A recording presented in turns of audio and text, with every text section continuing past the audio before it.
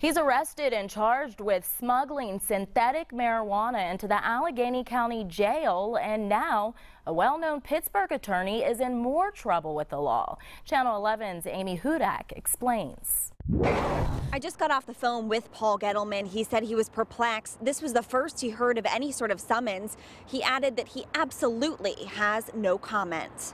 High profile lawyer Paul Gettleman is usually the one defending people accused of crimes, not the one getting his mugshot taken. Gettleman was indicted by a grand jury two weeks ago, accused of smuggling synthetic marijuana, K2, into the Allegheny County Jail. But he also got a surprise summons on Christmas Eve for an alleged hit and run in the parking garage right next to the courthouse.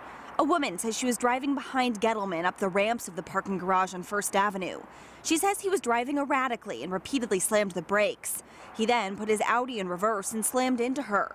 According to the court paperwork, Gettleman then exited his Audi, stared directly at her for a brief period, checked his vehicle for damages, then departed up the ramp.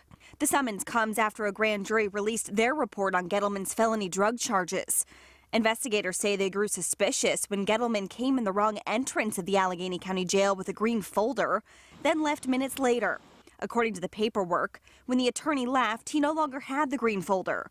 Video surveillance of the inmate showed him carrying the green folder. Local defense attorney Phil DiLucente talked to Channel 11 about those allegations before Christmas. Everyone was shocked and surprised. Um, it's unfortunate it was a grand jury, which means there was a very thorough investigation. According to investigators, Gettleman charged up to $1,000 to deliver the drugs. Now, with the latest allegation against him, it could be an uphill climb for the now embattled lawyer. It can be devastating to not only a legal career, but also your liberty.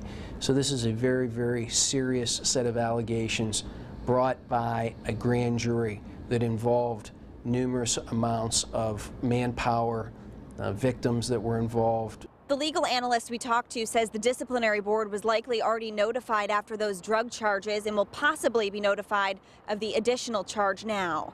At the Allegheny County Jail, Amy Hudak, Channel 11 News.